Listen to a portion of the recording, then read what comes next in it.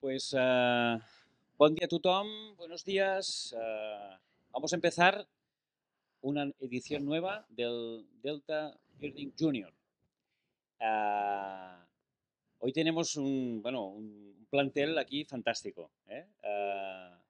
tenemos unos, un, unas personas, um, aunque tengan una edad más bien joven y de pocos años de vida, ya empiezan a tener una gran experiencia y son realmente uh, auténticos, yo diría casi casi profesionales. ¿eh?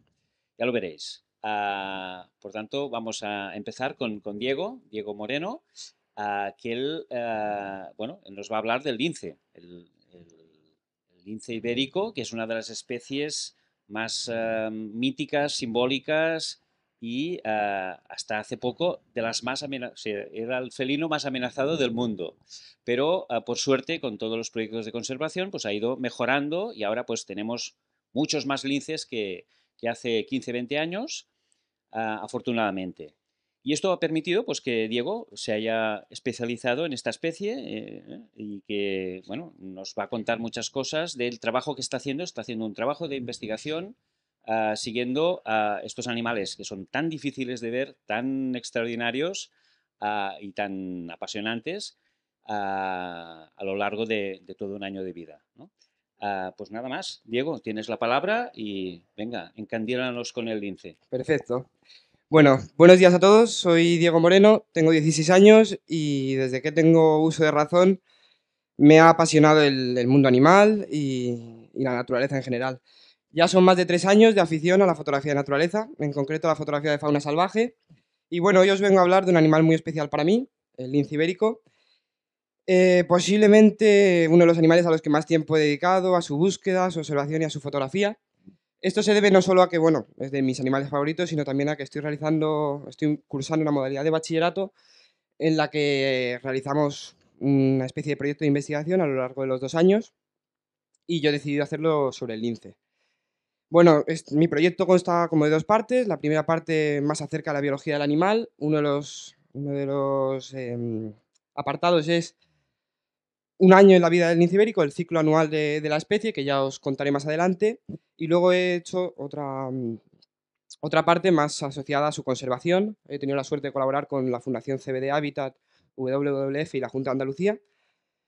Y bueno, lo primero de todo quería agradecer a la organización del festival por permitirme invitarme a estar aquí eh, y también sobre todo a, la gente que me ha ayudado y que me ha permitido, bueno, que me ha apoyado para hacer estas fotos, principalmente a mis padres, pero también a muchos amigos con los que he compartido muchas horas de espera por, pasar unos minutos con este animal. Bueno, el lince no necesita mucha presentación, eh, quizás el animal más mediático de, de toda la fauna ibérica, eh, un hito de la conservación a nivel mundial, nuestro gran gato endémico de la península, que bueno, a principios de siglo quedaban menos de 100 ejemplares, repartidos únicamente en dos poblaciones, el Parque Nacional de Doñana y el Parque Natural de la Sierra de Andújar.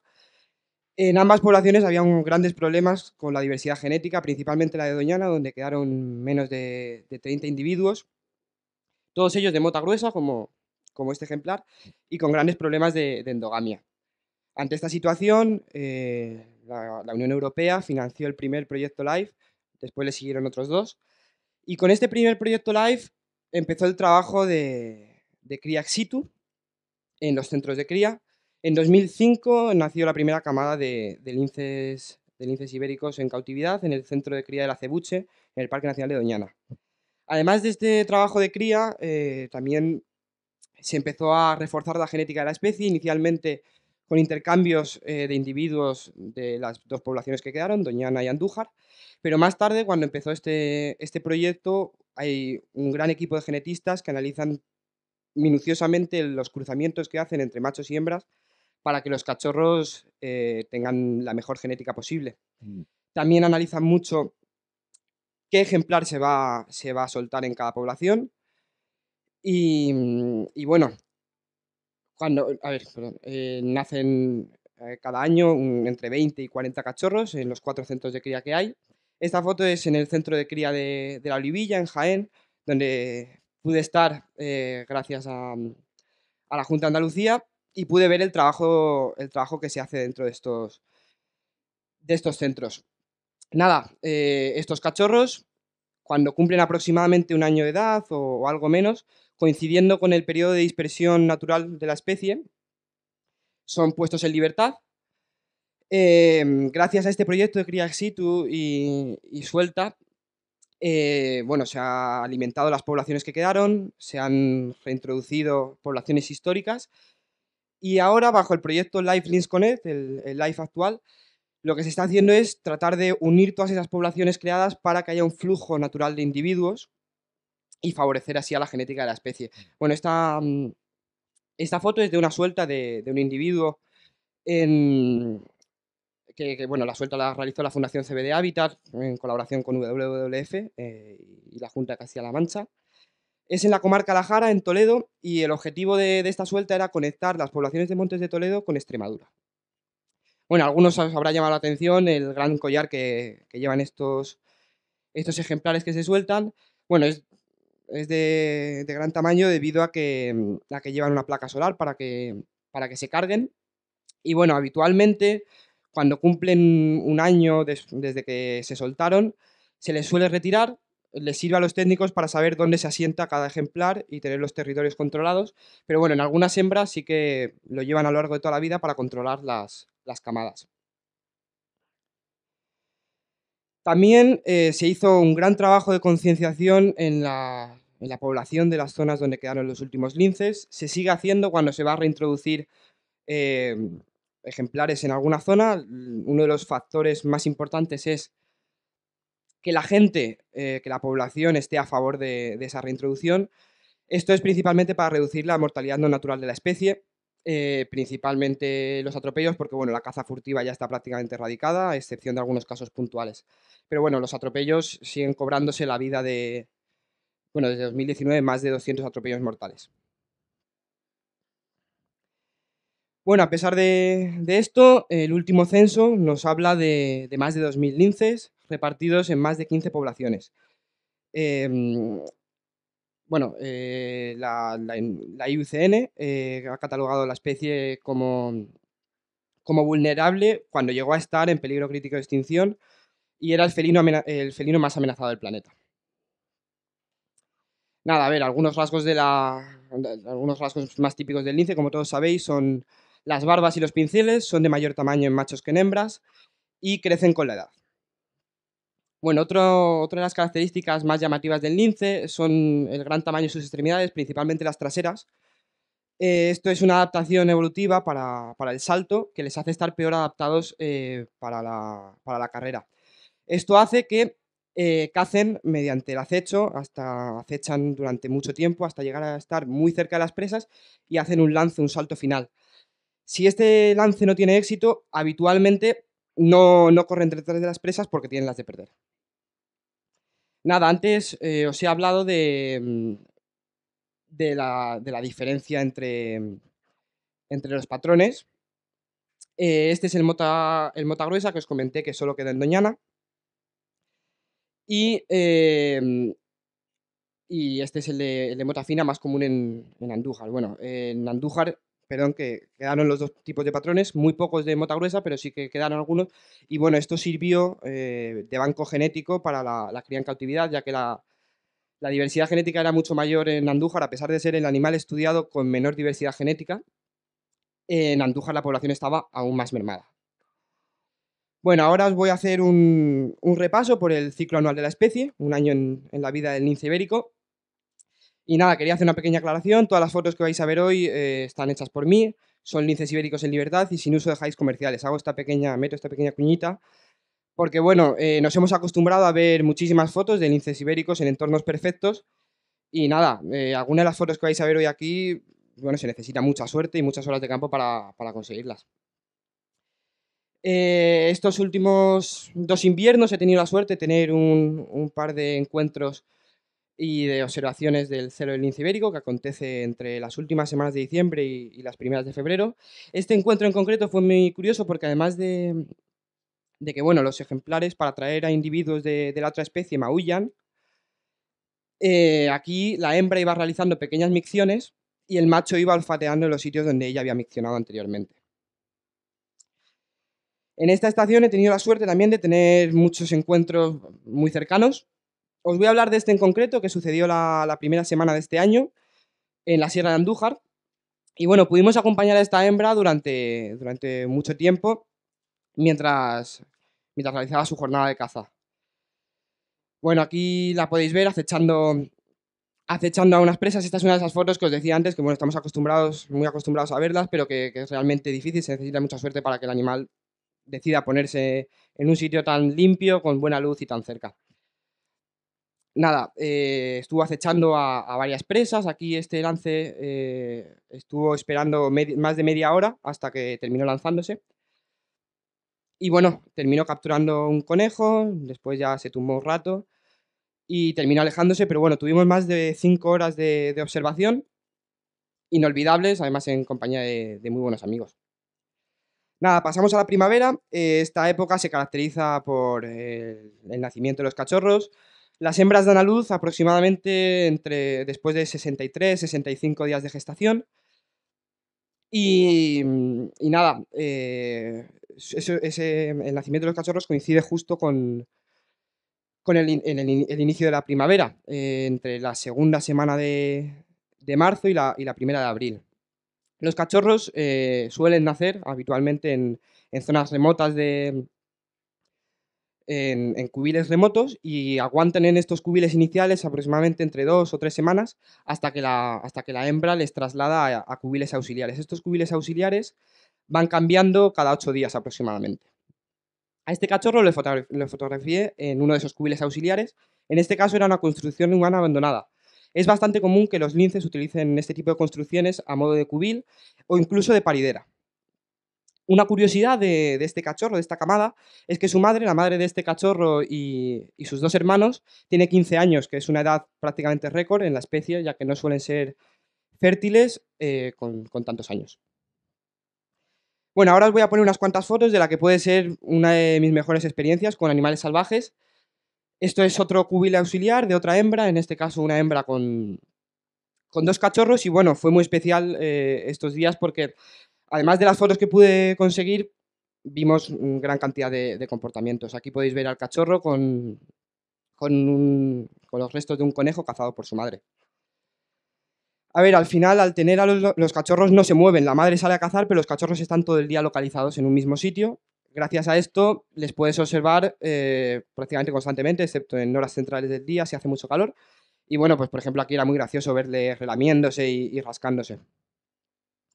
Nada, también otra cosa que me encantó ver fue, bueno, la, las peleas de los cachorros. Aquí, bueno, ya les veis, se ponen totalmente de pies hasta que derriban el uno al otro. Aquí, por ejemplo, la madre quería, acaba de llegar de cazar y quería echarse la siesta y, bueno, los cachorros no paraban de pelear encima, encima suya.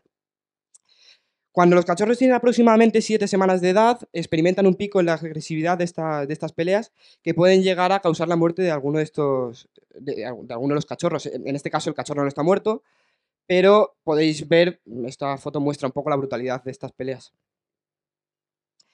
Aquí está la madre saludando a uno de los cachorros mediante un cabezazo. Esto es un, un saludo típico entre linces emparentados. Y aquí eh, podéis ver que el cachorro tiene la espalda arqueada y la cola levantada. Esto es la muestra de los genitales, otro comportamiento típico entre linces emparentados, que significa como un orden jerárquico inferior y una muestra de, sumisión. Una mañana, eh, cuando estábamos observando a esta familia de linces, la hembra empezó a moverse y de repente apareció en el camino, a muy pocos metros nuestra, y estuvo dando vueltas, llegó a cruzar hasta cuatro veces el camino, maullando, llamando a los cachorros. Aquí la podéis ver con, con las barbas erizadas, esto es como una muestra de amenaza, porque bueno, iba, con, iba a cruzar y iba a cruzar con los cachorros, entonces es, es como una muestra de, amenaza. Eh, tras eh, aproximadamente dos meses en, el, en, los cubiles, eh, empiezan a acompañar a su madre por el territorio. Aquí podéis ver a la madre acompañada de las dos crías. Y luego, 15 días después de abandonar el cubil, empiezan eh, sus primeros intentos de caza. Eh, esto es a finales, a principios de este verano, finales de esta primavera. Un cachorro, pues, eh, un, lance sin éxito, pero, pero eh, se lanzó a un conejo que había entre unos bolos de granito.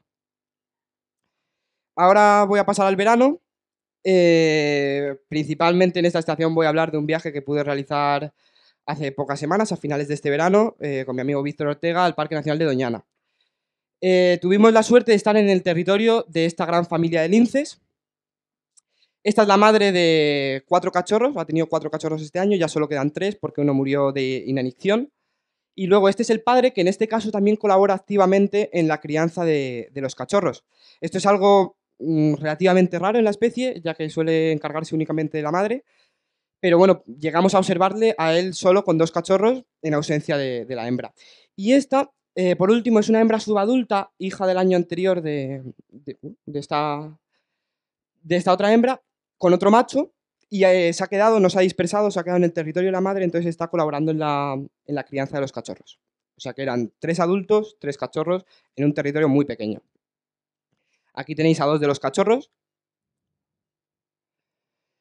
Y bueno, esta es la hembra de la que os hablaba, la hembra subadulta, que pudimos observarla en compañía de dos de los cachorros a, nada, muy, muy, pocos metros. Aquí esto es, para que os hagáis una idea, los fotógrafos a 200 milímetros.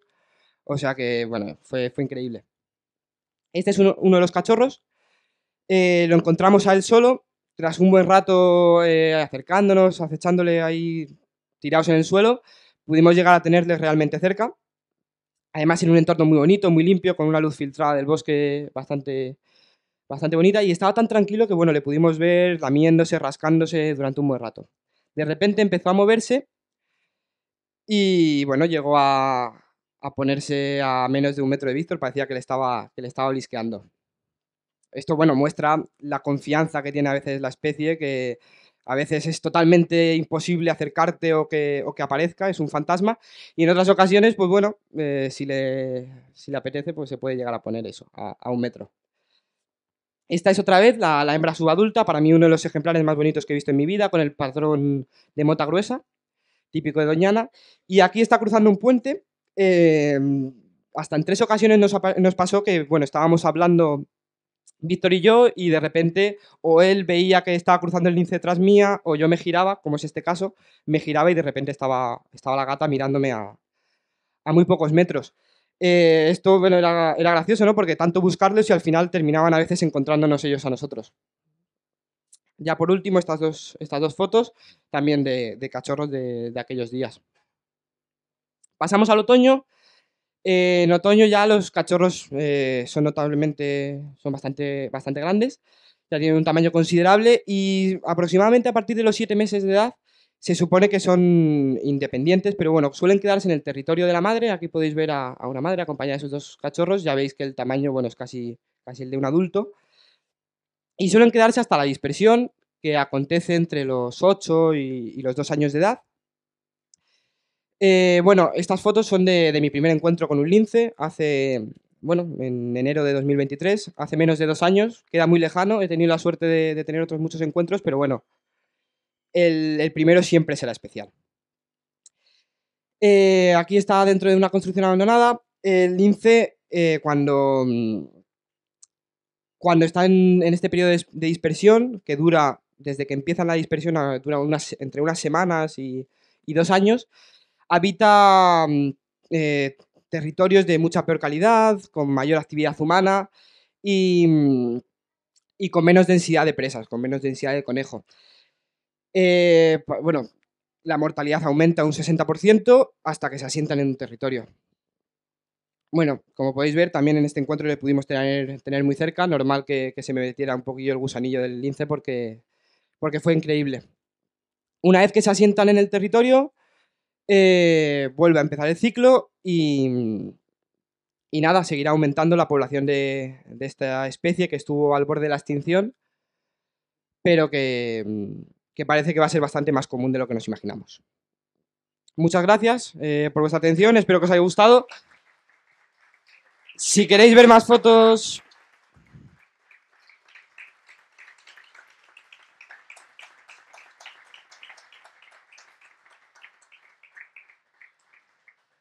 Nada, si queréis ver más fotos de linces y de otros animales, podéis seguirme en Instagram y bueno, cualquier duda, adelante.